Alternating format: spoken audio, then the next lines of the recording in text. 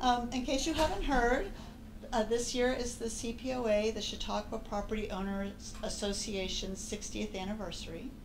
And in preparation, two years ago, Johanna Shoulder and I uh, began delving into all of the CPOA history, the files that have been collected over the years that happen to be in the archives. Uh, she reviewed the documents and then went into review the Chautauqua daily records to sub substantiate some of those documents. We actually do have a mic. It's right here. Oh, Make sure it's on. yeah. Can you hear me better now? No? Turn on. Can you hear me better now? Okay, sorry. Okay.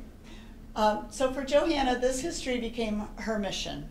It's her passion, and which you're going to see here when you see this slideshow. She reviewed the documents that were in the archives and then went on to review the Chautauqua daily records to substantiate or supplement what was available in the CPOA records. And then she began to add some color with these lovely um, photos that she found also in the Chautauqua archives.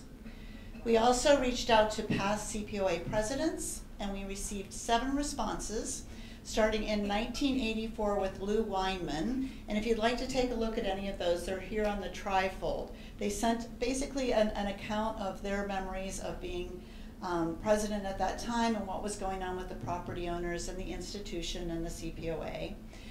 Um, Johanna is a longtime Chautauqua homeowner, and currently she's the CPOA Area 5 representative, a board member. Johanna will talk us through the history of property ownership and the CPOA. Thank you, Erica.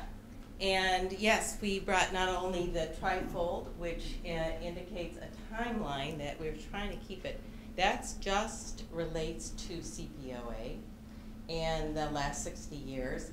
And then the uh, documents that are actually on the chairs, at the top of the chairs, I brought those because those are examples of what is in the file. We have several files that the archivist, uh, John uh, Schmitz, told us to take with us and keep at the CPOA office.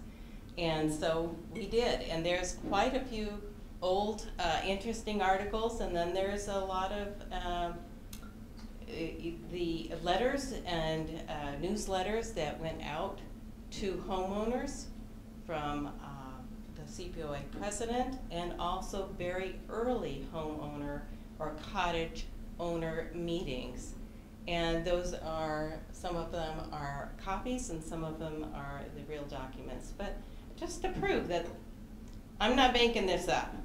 So, um, but I'll tell you one thing, after a couple of years of reading these uh, articles, um, it could be a very dry and boring report. So I'm trying to make it a little more interesting and tell this as basically the story of of ownership, and I'm sure there's a lot more to it, and many of you could contribute to it. But um, thanks again, Erica. And uh, again, my name's Johanna Shoulder. I'm the chair of the CPOA History Committee. I do enjoy reading Chautauqua history and was always curious about how this Victorian encampment evolved and why people bought summer homes here. Last summer, Erica and I found a few files at the archives relating to property owners. I believe I read over 300 pages of articles that fill the file I took home with me. It's an odd assortment of collected papers. I read the papers that start in 1876 and go to 1996. Many years and decades are missing. We were curious about what was behind the formation of the CPOA and when did it start. We felt also the organization's accomplishments and challenges should be documented as uh, we talked about, and we did that and put it in a timeline. With my 27 years of summering here, many of those years volunteering on boards as a community member, I am convinced that homeowners and leaseholders held sway over the shape of Chautauqua. It was my personal goal to gain a better understanding of the unique role property owners have had here, and as a member of the corporation. As a corporation, the Chautauqua Corporation, runs like a business but lives as a community. It has an interrelated dependency between the members of the corporation and its governance. The governance being the Board of Trustees. One can't do well without the other. This is the history of the CPOA. But to understand the formation of its mission, I need to take you back to the early days of being a leaseholder. We all know Lewis Miller and John Heyl Vincent were the dynamic leaders and visionaries founding Chautauqua. Early on, they incorporated the assembly and established a board of trustees. The trustees oversaw the finances, legalities, land acquisition, rules, and policy for this religious summer school camp. When you came to this camp in the 1880s and you liked it and wanted to stay and participate, you had to follow the rules and policy of this assembly. They owned all this land, uh, like many of the camps around the lake when you didn't want to rent a tent anymore and wanted to build your own cottage, you leased one of the lots that is going to be built on. There were rules of civility that you signed your lease with, like no alcohol on the premise and where you could put your wastewater from your house. You even had to make sure everyone in your household had a ticket or a pass to be on the grounds. The programs were so impressive. From 6 a.m. till vespers, there were activities for everyone to participate in, even a newspaper announcing your arrival. There you are. That is truly the dock and one of the steamships. And people arrived with those great big um, trunks. So there were assortment of cool photos like this. And in the front, those crates are full of vegetables and uh, fruits. So all of uh, the um, cottagers, boarding house, and hotel owners were really vested in this amazing place. And they let the leadership know about it at their corporation meetings. All of the board members, and there were 24 of them, were all elected by leaseholders. Everyone who leased their property from the assembly, and they all had something to say. Thousands of visitors came and rented rooms and tents, but it was the people who owned the summer places on the grounds who elected among themselves the trustees to make the decisions. Everything from policy to infrastructure, from gate tickets to quiet hours, from clean drinking water to driving your horses too fast. The members of the corporation elected all of the trustees to the board. Those who attended the corporation meetings were very influential in the ongoings of Chautauqua. After a while, though, this board of trustees didn't work very well. Miller and Vincent couldn't get a darn thing done. The board became inefficient for many good reasons. Like the leaseholders needed a quorum at their meetings to nominate and vote for their trustee of choice. We know the leaseholders had a meager showing in the 1880s and 90s. I also read about infighting between cottagers and the big boarding house owners. The makeup of the board represented that divide. I read examples of what I would call bickering. So, like, you know, they would bicker about boarding house owners wanted to have more Coney Island type features, and cottagers did. Cottagers got the same vote, a single a cottage owner got the same vote as a single boarding house owner. Well, a boarding house had hundreds of people staying at maybe their their place and they owned several lots. They only got one vote. So um, there was a problem with them not showing up, and it was very biased at the, the formation of these board meetings. And self-electing occurred to fill many of these em- empty trustee spots. Our great leaders wanted to see their popular idyllic summer retreat continue to expand and not be bogged down by struggling, by a struggling board. So they revised the charter. It's 1902. We still have 24 members of the Board of Trustees, but 20 of these talented folks are now self-appointed and four are elected by the corporation, the leaseholders.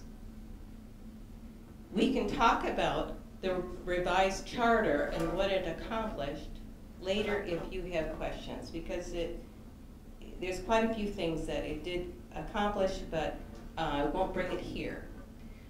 Um, Chautauqua grew and grew. It's 1926 now. Where are we? You recognize where we are in that field? Yeah, that's right. They're watching a not softball, baseball. Right. It, it's a it was a big deal. A lot of baseball photos. To say nothing about the cars. There was 600 cottages, boarding, and rooming houses, and lots of these cars. The article also mentions that the Chautauqua Hotel Company has recently built a fine addition of 50 rooms each, equipped with bath. The institution is drawing a national name for itself with important people coming to lecture and teach. And don't forget the music. The John Philip Sousa Band just drew the largest crowds since Teddy Roosevelt's visit in 1905. There we go. I got a photo of Teddy Roosevelt right there in the car in the uh, carriage, but I couldn't find one of the John Philip Sousa band. So the Board of Trustees, President and Administrator, were industriously adding new buildings and programs. And the corporation members continued to do what they were very good at. They were the ears and eyes on the grounds. They shared what worked and what didn't, what didn't with the trustees at the cottage holders meetings. The members were updated on the institution's status, and cottagers gave suggestions on how to make the Chautauqua on the grounds experience better for participants. A little aside here, the term representative was commonly used in written reports to refer to a Class B trustee Remember, Class B trust, uh, trustee is equal to the elected trustee. I quote a 1932 newsletter in the file. Mrs. Mina Edison was informed of her unanimous reelection as trustee representing cottage owners. And another quote from 1948 Daily, the board was officially informed of the election of Mrs. L. A. Byerly, owner of the Cary Hotel by the cottage holders to be representative of the property holders to the board. So from the beginning, we have the expectation of cottagers to be actively contributing to the betterment of the Chautauqua experience. Despite having less representation on the board, leaseholders had four identifiable voices on the board. Cottagers continue to give the utmost attention to the physical attraction on the grounds and the needs of residents. They had a strong vested interest in making sure that Chautauqua continued to prosper and do well. This may mean renting rooms out of their home, following rules and regulations, and supporting the annual fund or some sort of philanthropy 1936 brought empowerment to the homeowner in response to last-minute fundraising to save the institution from bankruptcy. Homeowners were encouraged to buy the deed of their home and become property owner. Samuel Hazlett was instrumental in raising enough funds from property owners and others to save the institution from bankruptcy. In response to owners' support the institution bylaws were changed to require the majority of board members be property owners. The community's identity was strengthened by the struggle to pull the institution out of debt. For the next three decades, Chautauqua was a sleepy, club-like community. Houses were painted white. Gate tickets, gate ticket numbers slowly spiraled down as large boarding houses and hotels, that's boarding house, what's it, which one is it? Albion. What is it now? It was probably apartments and condos. All right. And hotels were replaced also. This was the Box Hotel on Simpson. Long time ago, it did burn down. But it was replaced with a single family home. So leading up to 1963, when the idea of the CPOA was first conceived, Chautauqua was a pretty tight Protestant community. They didn't like to see a lot of change. It was a favorable time to organize. The Chautauqua Daily states, the Chautauqua Property Owner Association met on July 2, 1963 at McKnight Hall with a crowd of 250 people. Their purpose was to establish better communication between the institution and the property owners. Their policy statement submitted to the Daily two weeks later states the following.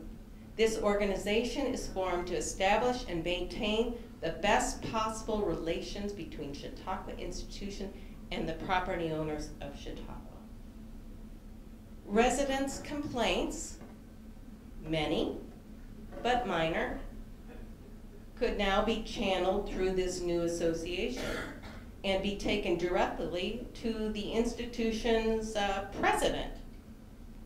His name was Curtis Howe, and he was new. All he asked was for residents to consolidate their issues or suggestions and have the CPOA president bring the list to him at the end of the summer. The earliest letter with a list found in our file is from 1968, addressed to President Howe. This letter, written by Mrs. Haller, our president then, has 22, 21 items of concern that could be addressed by the administration. I share a few uh, on the list here with you. The fine loose gravel that is used as street topping is most annoying, being slippery and dusty. Could that be eliminated or improved upon?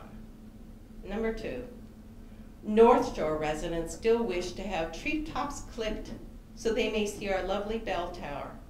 This courtesy used to be extended, and I see nothing unreasonable in asking for it again.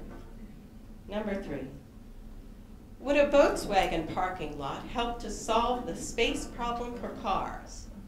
Figure that one out. So, Dr. Howe would address each item in a letter sent back in the spring, explaining action or inaction. All improvements suggested by residents were noted in CPOA meeting updates. A few in the 1969 update were outside lighting improvements, evergreens were planted to cover unsightly areas, drain lines were installed for better drainage at the bottom of Miller Park, the benches in the amphitheater were repaired. The Jane Avenue dock was enlarged. Better signing, announce, signage announcing program events installed at the main gate. Also found in the file are reports of the Board of Trustee meetings written by the elected trustees and sent out to corporation members. These trustee reports gave updates on the proceedings of the recent board meetings. Being informed of finances, planning, and management contributed to a strong sense of stewardship palpable in many of these CPOA newsletters. I note a few stats from 1968. Um, gate ticket reports, attendance at the end of the summer was a little over 56,000. The largest registration in the history of Boys and Girls Club was reported this year. The cost of a season pass was $60. The institution hires two more administrators with the result of the institution now having five administrative officers. As I sift through the files, I eventually came up with 21 Class B reports written on and off between 1968 and 1990. The 1970s were a very busy time with CPOA. It, it established itself as a primary communicator with the administration.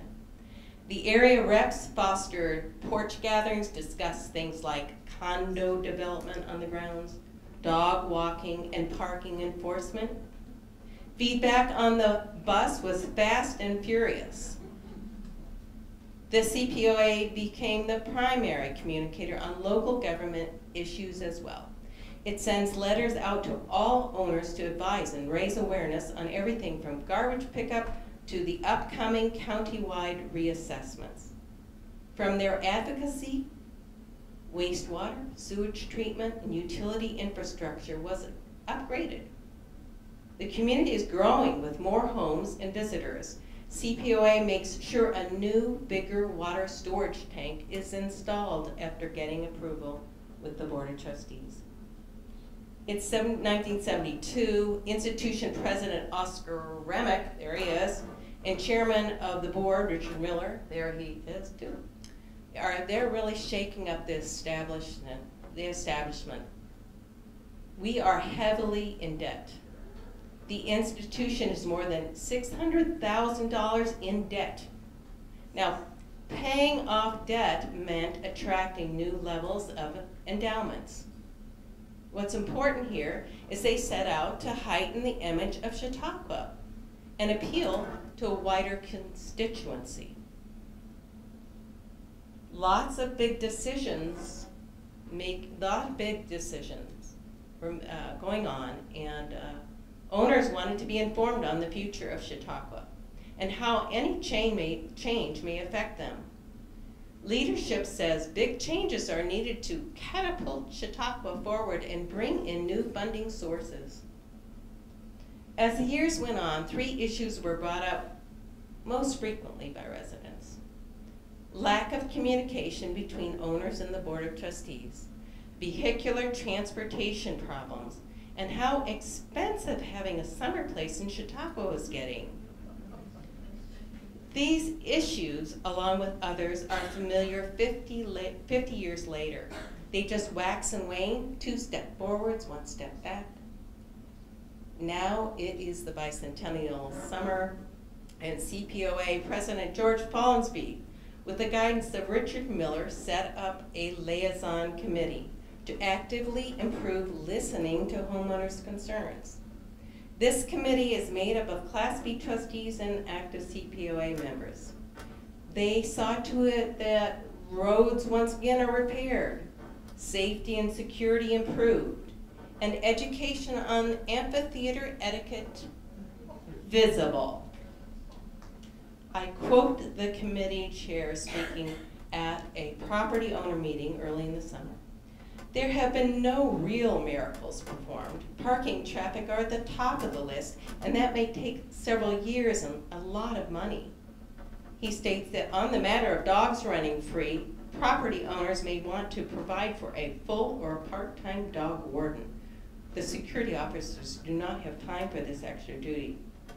A lot of, a lot of unleashed dogs back for the day. By 1979, relations had improved. A quote from the June uh, 30th, 1979 Chautauqua Daily says, Property owners are urged to visit their CPOA representatives to voice their concerns and put those concerns in writing. From property owner to area representative to liaison committee to administration. It's a chain that works. For a membership of $2, you will be supporting a group which consistently works to improve, extend, and advance the interests of all Chautauquans. CPOA designates a committee on taxes to explore tax reduction, school consolidation, and possible legislative action. The association also hired an attorney to review a possible class action suit against the town of Chautauqua for double taxing. In August of 1981, CPOA made a motion at their meeting that we, the property owners of Chautauqua Institution, hereby affirm our determination to seek relief from excessive taxation by securing counsel and filing class action proceedings against Chautauqua County and the town of Chautauqua, or in the event that this action should fail for any reason, suitable steps be taken to secede from the town of Chautauqua and form a separate municipality. Well, taxes were really a big deal for decades. In 1981, um, also the uh, Property Owner Association, they mailed out a survey with satisfaction um, about the institution to all property owners on record. 690 private properties.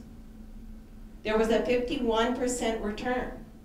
Our association president, Ralph Crockett, shared these results with the board of trustees at an open forum in Smith Wilkes Hall. 75% of respondents spend the full season on the grounds. 63% regard the symphony orchestra as their primary interest here.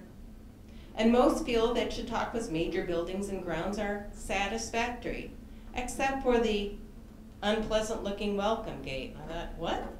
Welcome gate, okay. And most feeling that there is a housing shortage on the grounds.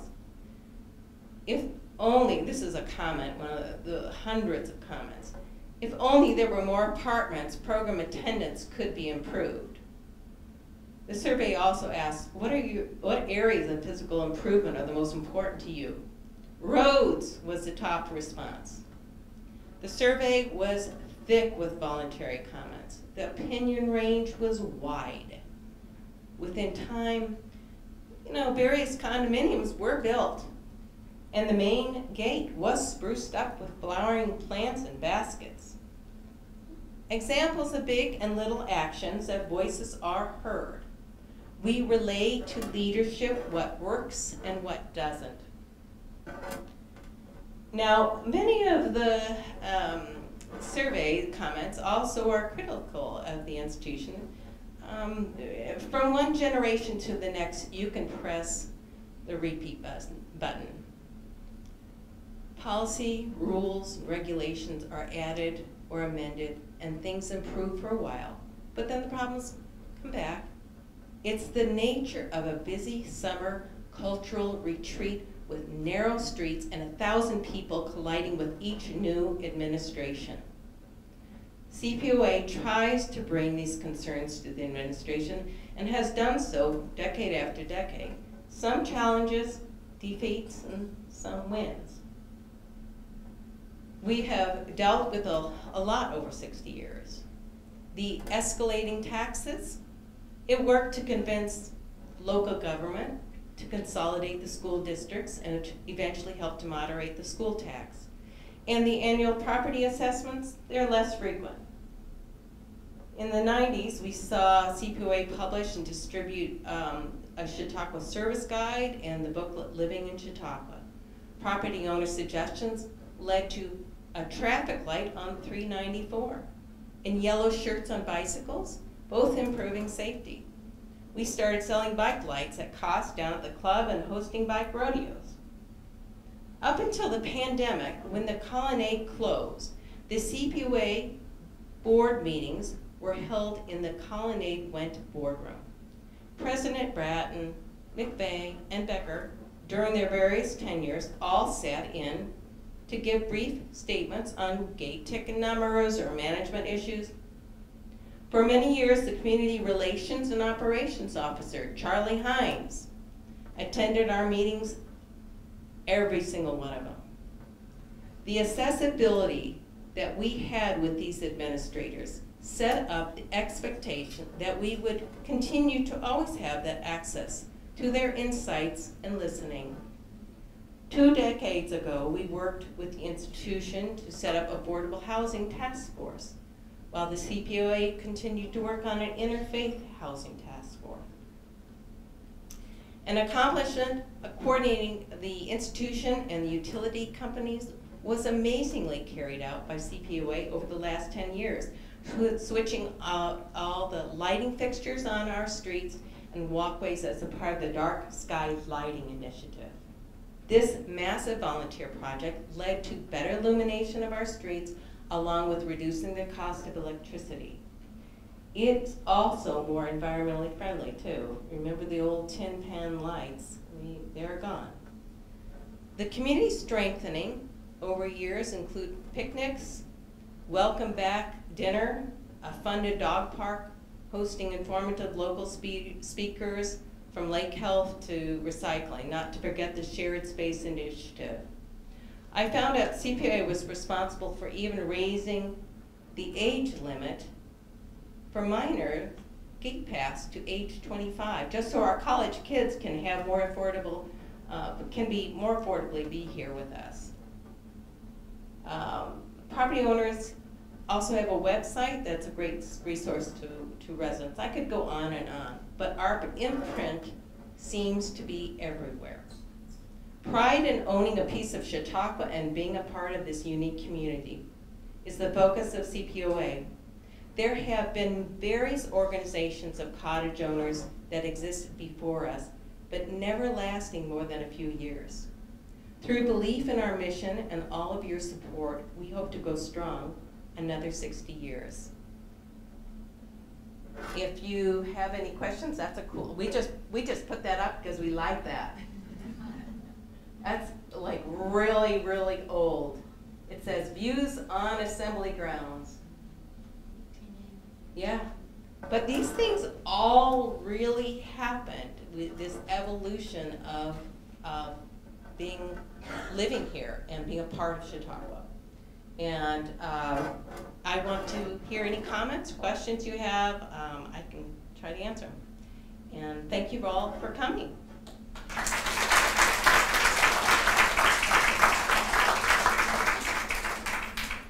Yes, go ahead. Over what period of time did all of the construction take place and what was the process for um, permitting and design and all of that? They used, uh, I would say, I want to say 1920, in the 1920s, like 1921, 1920 through 26. Think of Bestor Plaza. Um, That's when the colonnade was rebuilt, the, uh, there was some, uh, uh, some buildings that they actually had removed that were uh, made of wood. Um, But they built the post office and the library. um, And they used uh, architect from Buffalo. And uh, they actually had a whole grid pattern laid out and designed for, that was done actually earlier. During the assembly, they laid, laid out all the, the streets and parks and, um, but when you talk about construction, do you mean any other type of The individual houses. of the houses, the houses uh, were mostly built um, around, started around Miller Park. Um, You know, there was a big fire in 1873 that destroyed 50 homes around Miller Park. So some of the ones that are still surviving, it's amazing that they're there. But otherwise, the, the homes were built um, between 1876 and uh, 19, I would say 1889, 1890, most of the homes that are surrounding um, Miller Park and Simpson, going up to Bestor Plaza and around there. But uh, if you have, for example, if you have a house that has a little old sink in it, and I don't know, there, many of the rooms had little tiny corner sinks put in them. And that was during the the 1920s when they said there was not enough, there's not enough, we're burgeoning, we- we're growing, we're growing. And, and so there was a request in the 20s and 30s to finally um, have, rent out rooms for your, your uh, house. But otherwise, the main old part of Chautauqua was really just built between 1876 and um, 1903, right there. And then on the ends, uh, it was much, much later it was built. So it must have been like a total construction zone. It was, it was, and, and after that fire, the fire was in March of 18, um, 18, I said 1873, no, 1870, well, it was, anyway, in the 1870s, that fire, and I think it was 1876. Anyway, that spring, all those houses were rebuilt.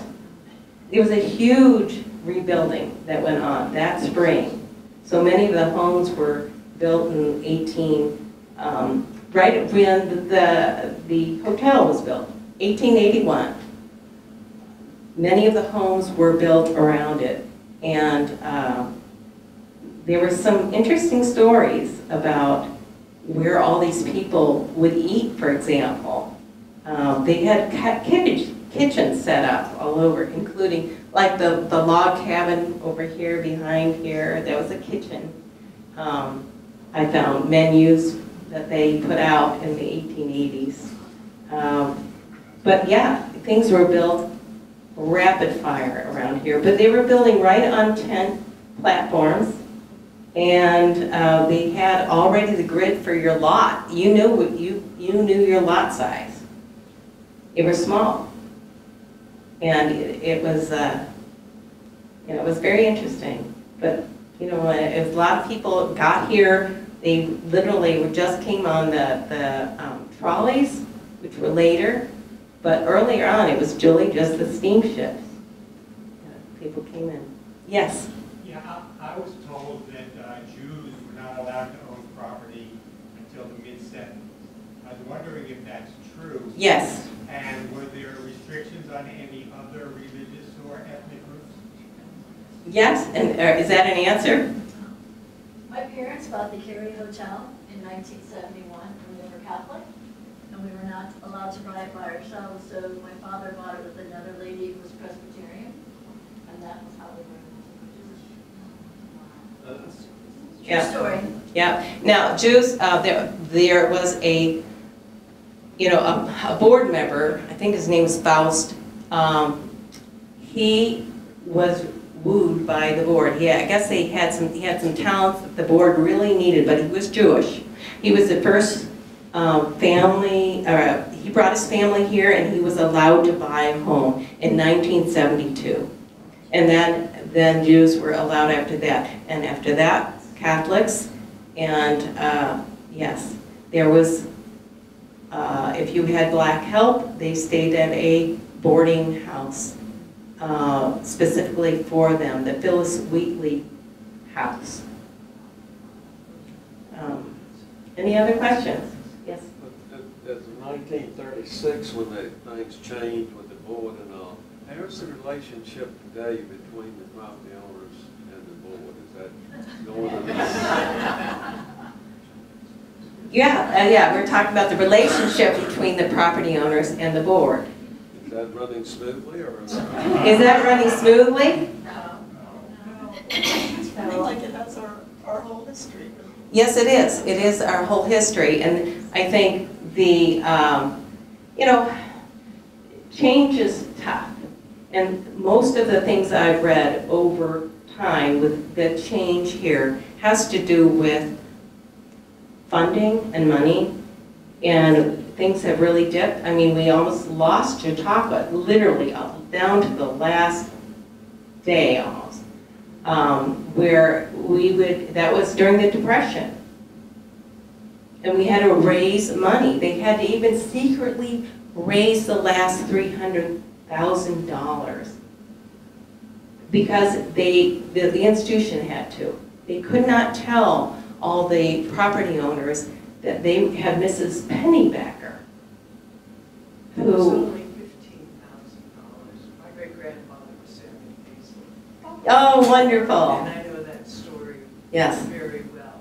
Um, But also, in nineteen nineteen, um, Rockefeller had promised Chautauqua yes, an amount of money, and they were tapping into what had not been spent uh, until that point. But Yes, it did They- go down to the wire.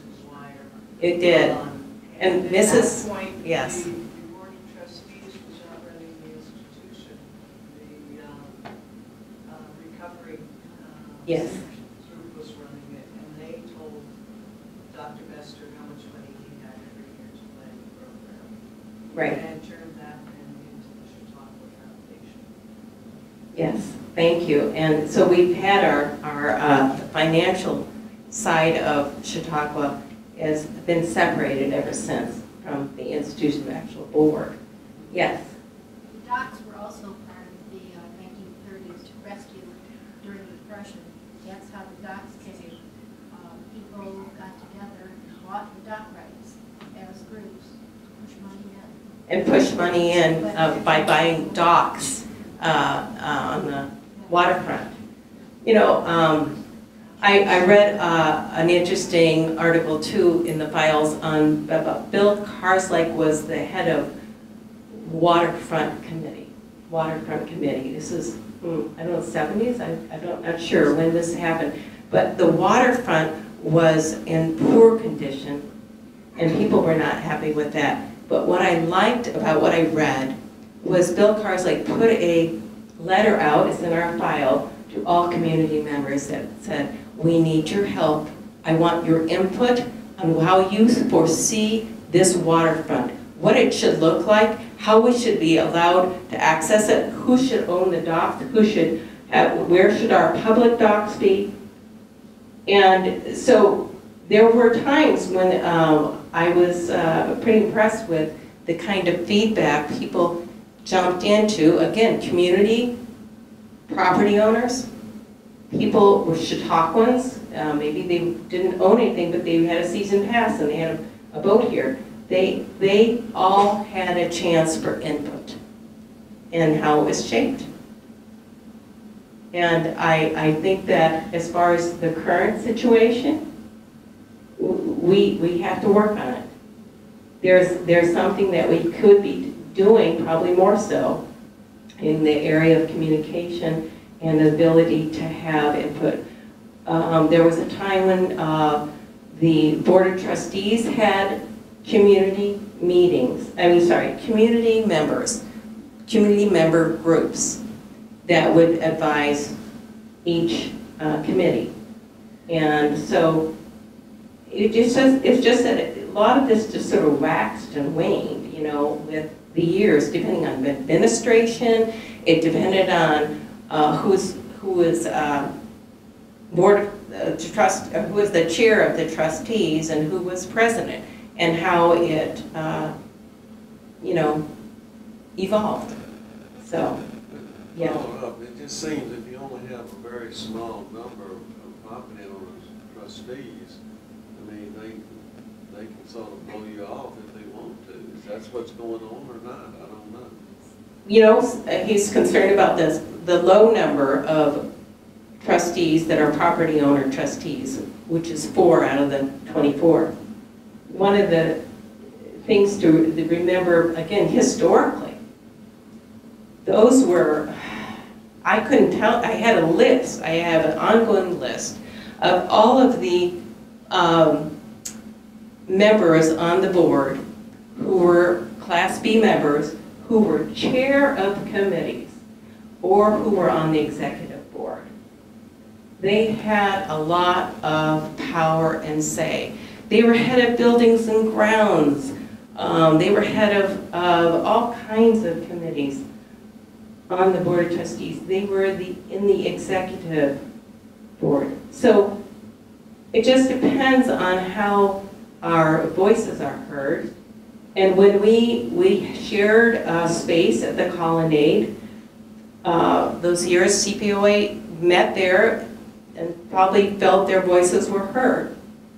But there, if we go back to like 1920 or 1931, um, you know, there's a, there's a letter that went out that, that said that uh, we have to gather at Hurlbut Church, we community owners, because we have to do something about Chautauqua. It's not being financially managed well, and we need to stand up and say something. But I couldn't find anything else that, I couldn't find another letter um, as to what happened. But you, they were disgruntled then, and things had to change. The, the um, committee meeting, I mean, let's see, was the, um, the committee, the, uh, the liaison committee, from 1974 to 1979, they were quite powerful. It had two, um, it had four people on it. Two were CPOA executives and two were uh, Class B trustee officers. And they were allowed to work with, directly with the administration. And in the fall of 1974, or 76, they sent a letter to the head administrator and said, we want these things done. We, as a community, have a list of concerns and issues. So I brought that list with me here today, if you want to take a look, and believe me, um, that just said, if we don't get these things, improve, improvements made on the grounds, then we are going to have a problem here. And um, they used the name, you know, like George Follinsby was one of the people involved. Um, but what happened was that this uh, administrator, he resigned. So by, by November, he, did, he resigned because he couldn't, we don't know, I don't know, it doesn't really say. But obviously couldn't meet the needs on that list of concerns. So they hired a new person um, in January and a new administrator head, and they were able to accomplish most of what was on the list, but not everything, because that administrator would say, it's not possible, and we don't have the money. And uh, so there was, there was a lot that was truly accomplished in the past as far as our um, influ influence on the board or with the administrators, but it was more accessible. So that's something we have to think about is how, when we maximally can be accessible and they can tap into the, the wisdom that we all have, you know. And if you have, again, if you have good ideas and you know some people who, who contribute some suggestions, you know, let us know on CPOA or, yes, go ahead. Um, forgive me, first of all, thank you so much. I think it was great what you did, the welcome dinner was great. Oh, thanks. Yeah, all your effort is, thank you so much. Um, so I, I just want to clarify, um, Class B trustees, those are the ones that CPOA elects, right? We have four. Well, the CPOA does not elect them. The corporation elects them, and the corporation is made up of the property owners. Not all property owners are members of the CPOA. It's a completely separate process. Okay, but, okay, so there's four that we contribute to nominate and then they get, right?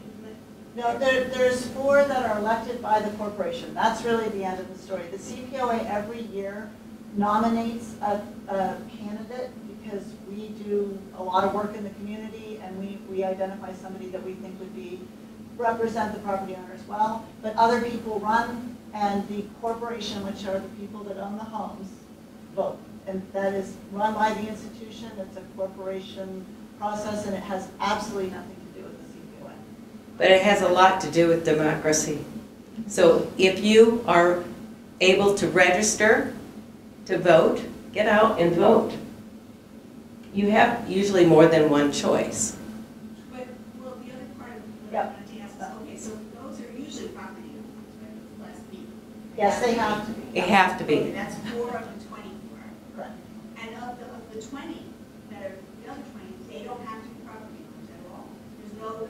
A lot of them are, but I, that- I don't no believe that is a requirement. The majority- Has to be. The majority by, unless they change their bylaw. But the bylaw that was granted and changed in 1936 was specifically that the majority of trustees, those other tw- 20 trustees, have, they have to be homeowners. And the majority of trustees presently are homeowners. They are, they are. Yes. Any other questions? Yes, Lynn? Um, who decided or that there were only going to be four Class B trustees out of twenty-four? When was that decided, and is it in bylaws, or can we vote to change that? Is it in the charter? What, can we vote to change that?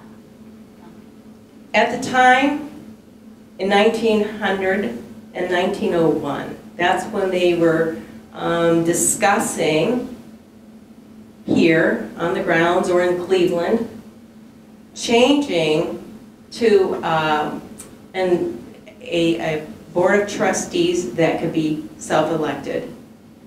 And uh, there was certainly dispute.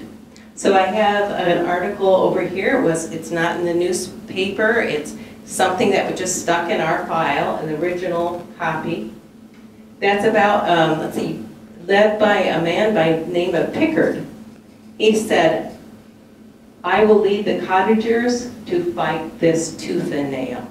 I am not going to accept the fact that we cannot continue to sell, to, to elect our, our trustees. We will not be removed to, for, for uh, choices. That's it. So he, he led a lawsuit between the, the um, Vincent Miller group, their attorneys, and they either withdrew or they lost. I'm not sure. It's, it's a lot of complex legal, legalese. But there were people who did fight it becoming um, revised in, in the, as far as the charter goes. And I don't know why, why did they pick four? Why couldn't they pick six? I don't know. Yes, But Joanna, to to follow up on that, I don't know the answer to this. If it's part of the charter, and that's filed with New York State. It is? If, I think. Yes. It is filed with New York State. It's a very complicated thing to change if people wanted to change. So it's not like we could all decide to change the bylaws or whatever. It's, it's filed with, the- with Yeah. with the state and it's approved by the state and It has been looked at multiple times by multiple people as to its legal standing, and it stands. But the language in the uh, letters in 1901 said it's as illegal as can be. It is illegal. And it was just a debate, that's all. I had to go, and it- because it's filed with New York State, it is law that we have it the way it is. Yes. I have a different sort of question, but I'm curious uh, about the number of houses that might be winterized. Is there a full-time, full-year population in Chautauqua, or is it just truly summer only? There is a percent of who, who live here year-round. Okay, Absolutely. So houses are winterized. Houses are winterized, yes. Not all of them. Oh, yeah, I mean, there are summer, well, a lot of these are summer houses, not winterized, and I don't know, does anyone know how many people live here year-round? 150 to 200. Wow. Thank you. Yeah, it's really, uh, and hopefully, I hear it's growing. I really do. Um, Any other questions I can help you with or show you materials? Uh, Yes, Ray? And I heard different things about this, but I'm curious about the, uh, to the board trustees, and just kind of confidentiality agreement. Yes. Don't disclose. How long ago did that start where they uh, can't talk about what they're doing?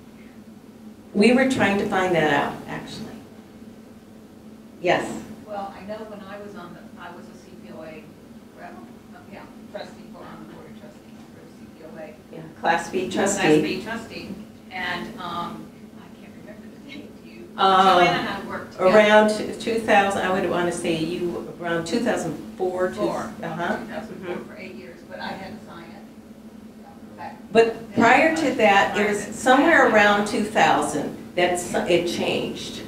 I was active on CPOA, and it, it just, I can't really pin it down, but our uh, Class B trustees attended all of the CPOA meetings, and they shared with us a meeting, um, a report of whatever they proceeded uh, at their uh, trustee meetings until one meeting. when they said, I have nothing to share. We cannot, there's nothing to share. We cannot say that. It was, it just, it seemed like it was like 2001, 2002, something like, right about that time. Because I, I went on, was active like 1997 to uh, 2006. Yeah. But they are back to reporting to us, so I'm happy to announce that. Yes. In the- In the last sort of six months or so, the, the Good to see institution is putting out reports, and, um, the, Candy Maxwell, I don't know if you got those emails, she, she did a summary of the last trustee meeting, and our Class B trustees attended the COA board meeting and gave a, a very detailed report, so it's come back around. Yeah, I, I remember reporting them. I mean, we, we could talk about what went on and, you know, I mean, yeah, I remember reporting to, Mhm. to the meetings. Well, it might have been like a, a sort of general things that we could all be, you know, listen to, but there was quite a lot of policies and Yeah. decision-making that we certainly were not shared. But in answer to your, Yeah. what you were talking, what your question was, um, I feel that, that the Class B trustees felt that they didn't have any say. You know, we were kind of shut down sometime for the things that, I could go back to the Carl Brown days, you know, and we felt that we did not really have a voice and were we really important or not. But there, but there were a lot of things we did that we got through that were good too. But I think, I think a lot of us felt that way. You know, Yeah. I hate to say that, but we did. Yeah, so Jennifer's just saying that she didn't feel like she had a voice as much as a Class B trustee during the time that she was on for, how many years? Eight, Eight years. yeah.